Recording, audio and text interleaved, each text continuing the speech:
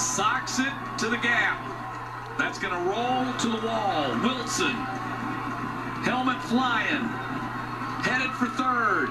Here comes the throw. He's safe.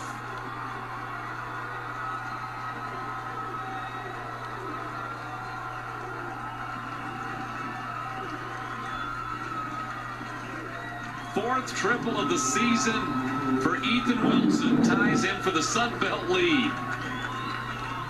Turn that one around on Nick Jones as he laces it into right center field, and he's thinking three out of the box. And how many times have we seen this slide into third base?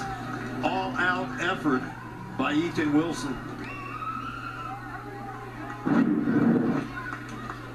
And he's got the immaculate hair flow. Yes.